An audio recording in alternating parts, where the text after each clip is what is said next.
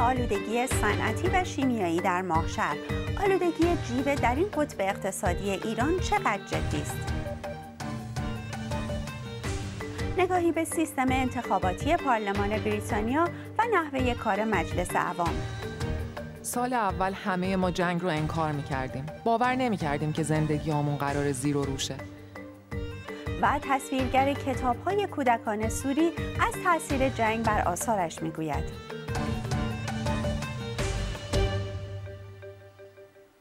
سلام خوش آمدید به برنامه خبرنگاران این هفته.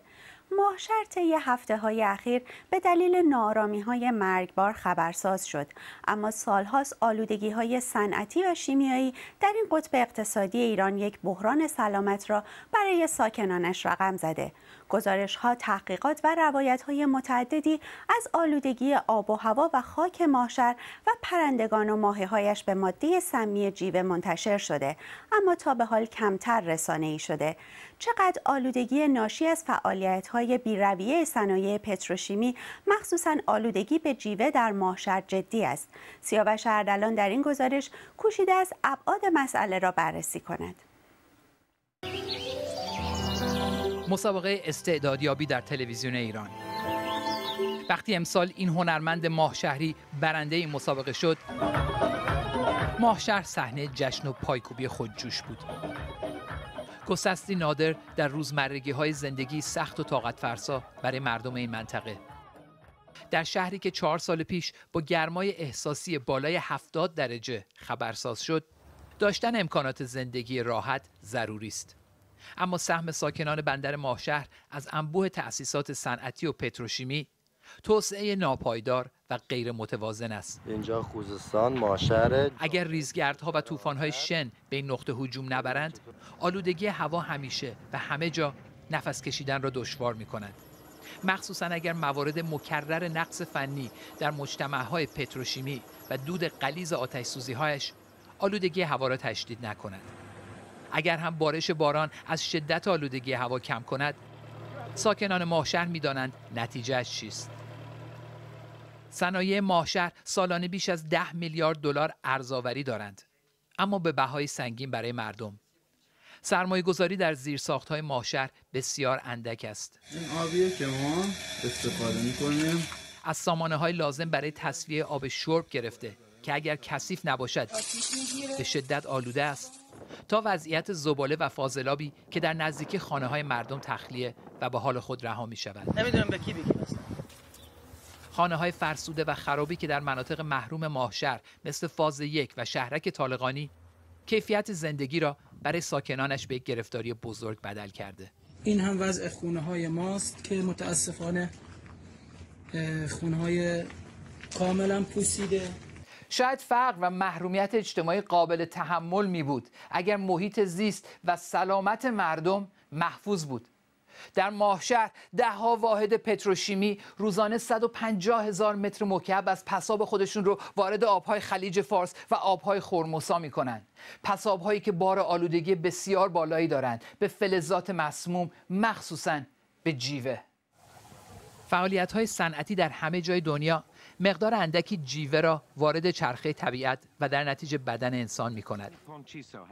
اما اگر به بیش از حد مجاز برسد باعث مسمومیت و انواع بیماری ها مخصوصا نارسایی های عصبی می شود. فاجعه آلودگی خلیج میناماتا در ژاپن بین دهه سی تا 60 میلادی بزرگترین فاجعه مسمومیت به جیوه را در جهان رقم زد. اینجا بیمارستان اصلی ماهشهر است.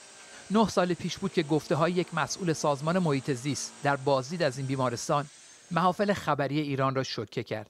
در این سفر رئیس شبکه بهداشت ماهشهر آمارهای عجیبی از تولد کودکان ناقص الخلقه از جمله تولد 270 تا 370 کودک بدون سر در مدت 6 ماه ارائه داد. همچنین رئیس شبکه بهداشت ماهشهر از عقیم شدن شماری از مردان ماهشهری خبر داد که علت عمده آن احتمالا وجود آلاینده های پتروشیمی در آبهای خلیج فارس بوده است و قرار است این مسئله مورد بررسی قرار گیرد. مسئله دیگر مورد بررسی قرار نگرفت و به عنوان یک نظر غیر کارشناسی رد شد. ماهشهر فاز پنج اما مردم منطقه تأثیرات این آلودگی ها را بر سلامت خود و کودکانشان می‌بینند. یا سرش بزرگه دستاش کوتاه رنگش دو رنگه است نمی‌دونم چشماشه معدشه رودشه اینا همه و همه بستگی داره به من پدر به خانم من که مادر ایشون نفس و هوای آلوده و مسموم تنفس می‌کنیم فردا بچه درست می‌کنیم بچهمون می‌خواد چی در بیاد؟ روایت هایی که با نتیجه تحقیقات دانشگاه های ایران درباره آلودگی ماهی ها، پرندگان و آب و هوای ماهشهر به جیوه همخوانی دارد. این نتیجه تحقیقات دانشگاه شیراز خرداد 97 علیرغم اینکه چندین سال هست که دیگه واحدهای کلور آلکالی تعطیل شده تو صنایع پتروشیمی معاشر ولی متاسفانه جیوه هنوز توی محیط رسوب وجود داره و از این طریق می‌تونه وارد بدن ماهی بشه و در اثر استفاده ماهی توسط انسان می‌تونه وارد بدن انسان بشه. نگاهی فراگیرتر به دیگر تحقیقات دانشگاهی ایران جملگی از بالاتر بودن آلودگی به جیوه نسبت به حد مجاز و استانداردهای جهانی در ماهشهر حکایت دارد. دانشگاه آزاد اسلامی زمستان 93 همبستگی بین غلظت جیوه در آب و رسوب و تجمع آن در ماهیان حلوا سفید سید شده از خوریات مستقیم و معنیدار بود. دانشگاه تربیت مدرس خرداد 96 میزان جذب روزانه جیوه در 23 درصد از زنان مورد مطالعه از حد راهنمای سازمان بهداشت جهانی فراتر بود. در شهریور ماه امسال یکی از مدیران خدماتی واحدهای پتروشیمی ماهشهر به خاطر سرازیر کردن پساب صنعتی آلوده به جیوه به داخل خورموسا به یک سال حبس تعذیری محکوم شد. هیچ جای دنیا همچین فضا سبز پیدا نمی‌کنی برای کودکان ما. آسیب پذیرترین قشرها در برابر آلودگی به جیوه و دیگر منابع آلاینده جنین ها و نوزادان و مصرف کنندگان آبزیان هستند. صنایع ماهشهر منبع مهم درآمد برای ایران است ولی به علت ضعف ضوابط زیست محیطی تهدیدی برای سلامت و محیط زیست ساکنان ماهشهر نیز هست. که در کنار فقر و محرومیت های اجتماعی ترمزی است بر شکوفایی ظرفیت ها و استعدادهای مردمانش. سیاوش اردلان بی بی سی. پنجشنبه گذشته در بریتانیا انتخابات پارلمانی برگزار شد. سیستم انتخاباتی بریتانیا چگونه است؟ چه کسانی نماینده پارلمان می شوند؟ رابطه میزان رأی و کرسی هایی که احزاب به دست می آورند چطور است؟ نعیمه نامجو برای پاسخ به این سوال ها این گزارش را تهیه کرده تا شما را با شیوه رأیگیری انتخابات سراسری و اصول آن بیشتر آشنا کند.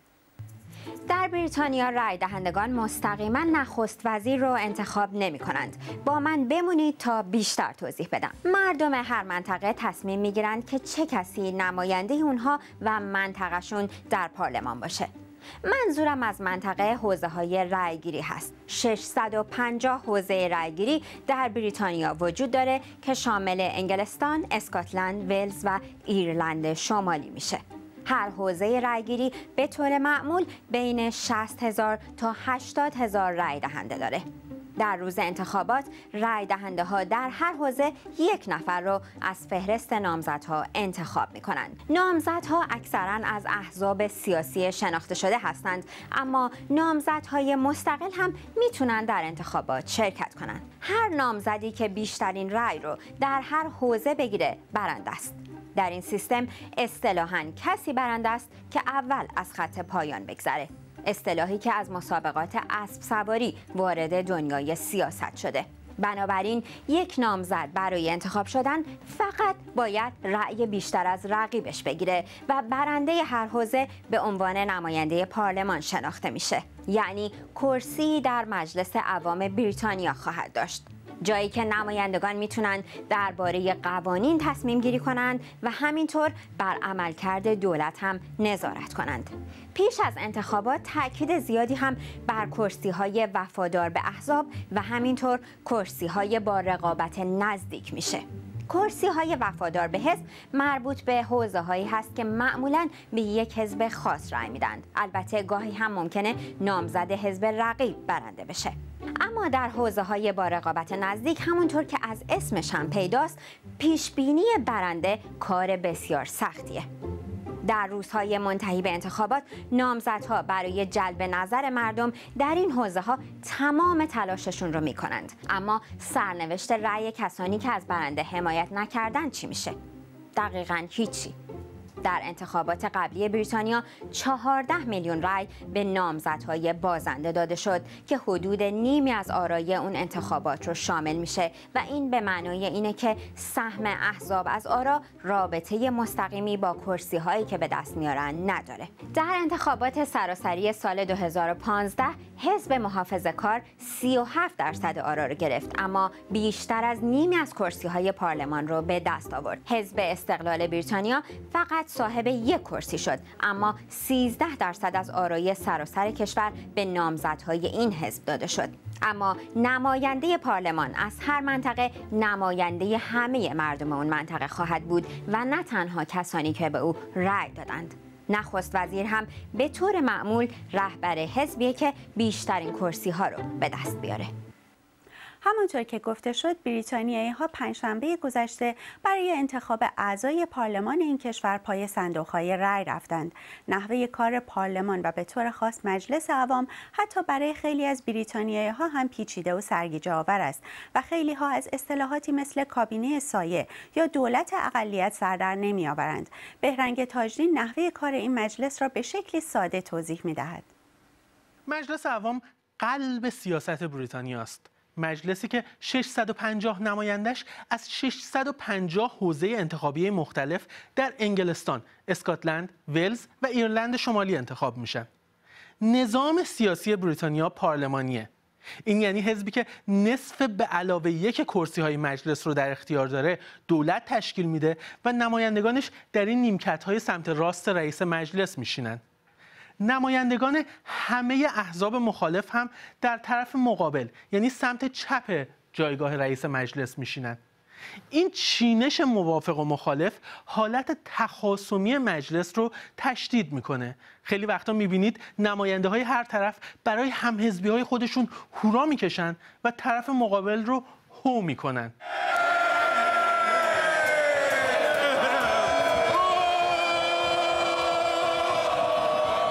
بریتانیا مثل خیلی نظام های پارلمانی دیگه رهبر حزب حاکم میشه نخست وزیر و همه اعضای کابینه و معاونان وزرا هم نماینده های حزب حاکم در مجلس عوام یا بعضا مجلس اعیان هستند. به طور سنتی اعضای کابینه و معاونانشون در مجلس در سندلی های ردیف جلو میشینند و به همین خاطر بهشون میگن جلونشین. بقیه نماینده های حزب هم که پست دولتی ندارن تو نیمکت های پشتی میشینن و به همین خاطر بهشون میگن عقب نشین.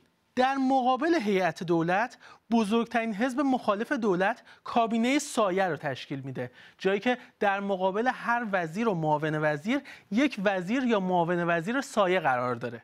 مثلا در مقابل یک نماینده حزب حاکم که مقام وزیر خارجه رو در دست داره حزب مخالف یک وزیر خارجه سایه تعیین می‌کنه که کارش اینه که سیاست خارجی دولت رو نقد کنه. سخنگوی حزب مخالف در این حوزه باشه و نامزد حزبش برای اون پست در صورت پیروزی در انتخابات بعدیه. اگه بعد انتخابات هیچ حزبی نصف به علاوه یک کرسی ها رو کسب نکنه ممکنه دو یا چند حزب با هم دولت ائتلافی تشکیل بدن.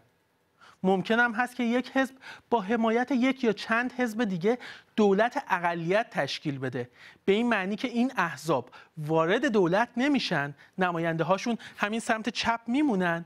ولی در رأیگیری های مهم مثل رأی اعتماد یا بودجه از دولت حمایت می‌کنن. در بریتانیا رئیس مجلس بیطرفه و در رأیگیری ها شرکت نمی‌کنه. وظیفه اصلی رئیس مجلس مدیریت جلسات مجلسه.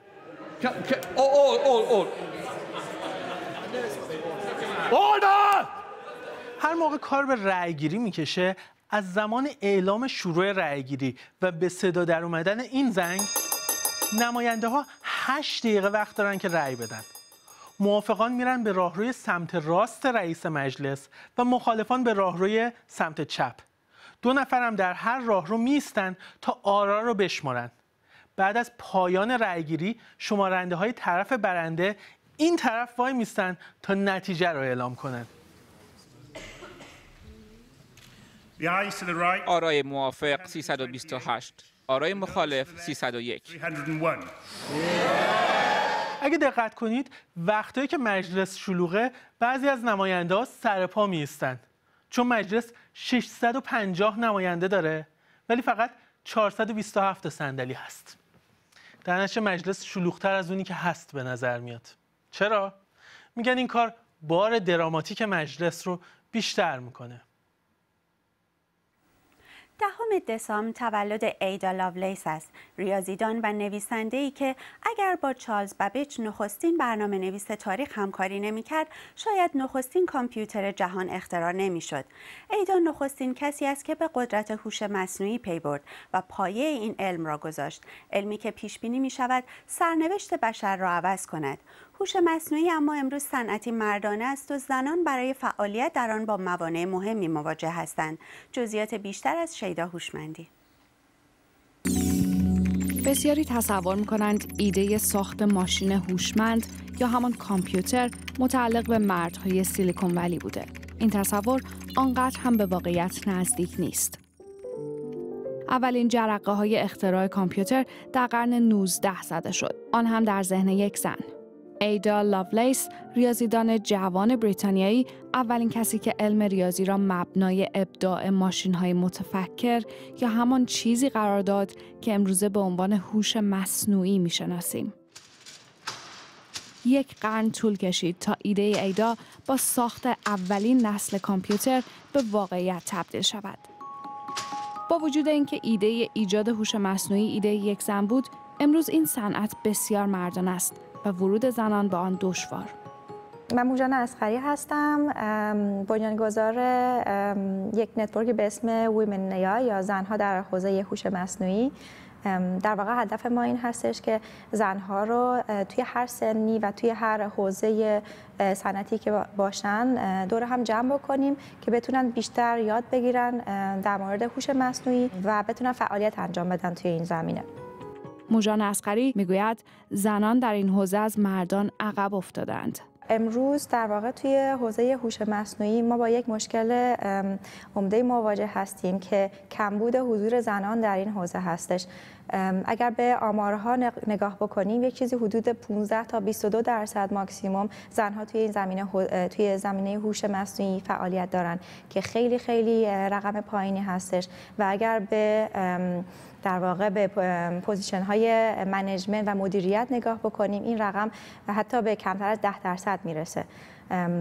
و دلیل اینکه این اتفاق افتاده این هستش که زنها کمتر از مردها توی حوزه هایی که به اسم STEM در واقع معروف هستن. حالا STEM میشه science technology engineering و mathematics هر چیزی که به تکنولوژی ربط داره و مهندسی زنها خیلی کمتر از مردها وارد این این حوزه ها میشن.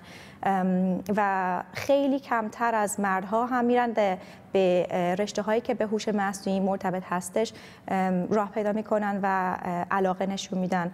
و از اون هم که بگذریم اگر زنهایی هم هستن که حالا متخصص میشن توی حوزه هوش مصنوعی خیلی کمتر از مردها توی شرکت ها راه پیدا می‌کنن. چون همین شرکت ها هم خیلی کمتر زنها رو در واقع استخدام می‌کنن.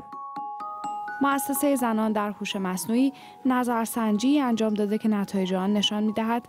که دختران جوان به رغم تمایل به رشته های فنی مهندسی و علمی وقتی به سن انتخاب رشته می رسند به سراغ این رشته ها نمی روند. همزمان زنان مشغول به کار هم در مقایسه با مردان نمی توانند یا نمی خواهند به توانایی های تکنولوژیک خود اضافه کنند.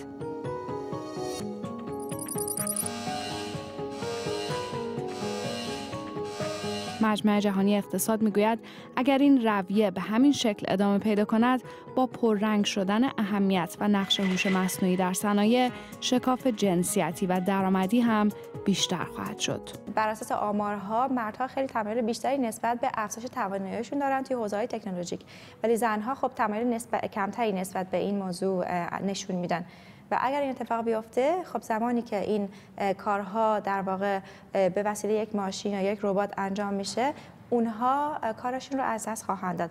و این خب در واقع شکاف درآمدی رو بیشتر می‌کنه. و اگر بخوایم در واقع به بعد مثبتش هم نگاه بکنیم که بگیم نه خب این اتفاق می‌تونه نیفته در واقع میشه به این بود نگاه کرد که چون زنها توانایی بیشتری دارن در استفاده کردن قسمت راست مغزشون نیمکره راست مغزشون که وصل هستش به خلاقیت و هوش احساسی این می‌تونه خیلی به زنها کمک بکنه برای رسیدن به اون position ها و پست های بالاتر در مدیریت. و این می‌تونه باعث بشه که حتی بتونن ف... کارهایی رو که در واقع قبلا خب شاید خیلی مردها اونا رو به عهده می‌گرفتن بتونن انجام بدن و به عهده بگیرن. نگاهی به اعضای هیئت علمی رشته های هوش مصنوعی در برترین دانشگاه های ایران هم نشان می دهد که شمار کمی از زنان در این حوزه فعال هستند. هرچند بسیاری از زنان جوان علاقمند به ورود به این حوزه و فعالیت در آن هستند. فرمول جادویی این کار در دستان ایدا لاولیس بود. اینکه از مردان زمانه خود جلوتر بود. حالا نوبت زنان امروز است که از فرمول جادویی ایدا استفاده کنند. شیده هوشمندی بی بی سی در بریتانیا نادین کعدان یک تصویرگر کتاب کودکان اهل سوریه جایزه فرهنگی برده به پاس تلاش برای شناساندن فرهنگ عربی به بریتانیایی ها. دنیای کودکانه شخصیت های کتاب او از جنگ داخلی سوریه و خشونتی که این کشور را ویران کرد تاثیر زیادی گرفته. ناجیه غلامی با او به گفتگو نشست.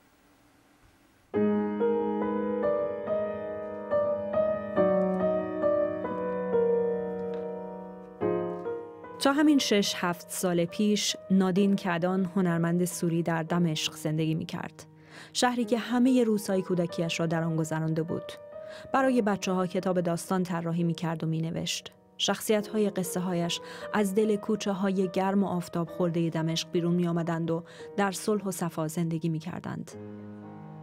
نادین کدان را کیلومترها دورتر از دمشق در خانه این روزهایش در لندن ملاقات می کنم. جنگ او را مثل خیلی دیگر از مردم سوریه از خانه و وطنش آواره کرد. سال اول همه ما جنگ رو انکار می کردیم. باور نمی کردیم که زندگی همون قرار زیر و روشه. فقط فکر می کردیم این یه بحران کوچیکه و قرار به زودی تموم بشه که متاسفانه نشد. شوک جنگ باعث شد شروع کنم احساساتم رو با تصاویر تیره و تار بروز دادن. تصمیم گرفتم کتابی بنویسم با عنوان فردا.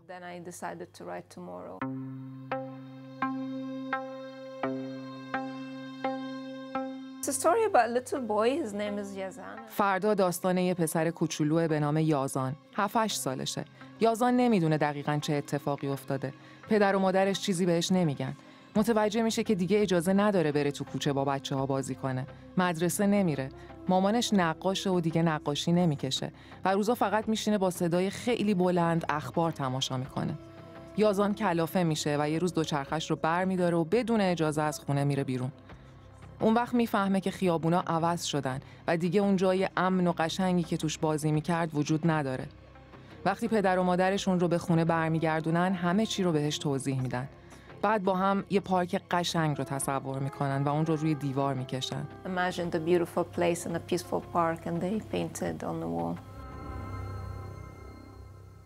خیلی وقتها صدای کودکان در میانه حیاهوی جنگ شنیده نمی شود.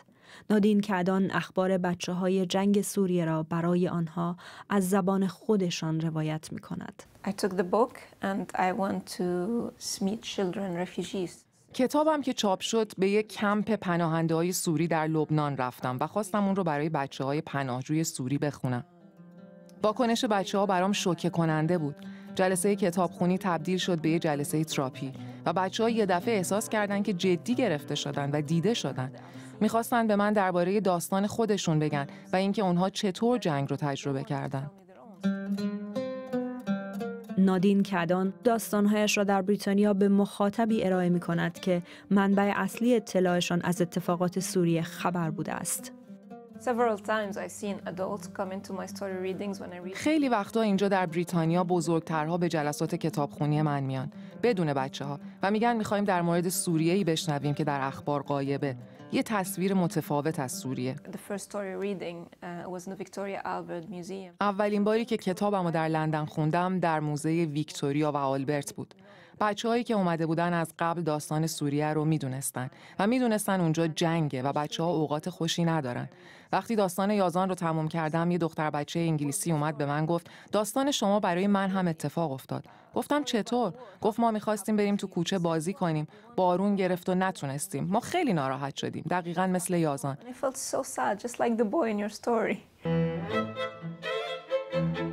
کارهای نادین کردان اما فقط منعکس کننده جنگ سوریه نیستند. لیلا قصه شاهزاده خانمی ناشنواست که معشوقش برای برقراری ارتباط با او زبان اشاره می آموزد و هارون گربه است که ما را به سفری جادویی به کوچه های شهر قدیمی دمشق می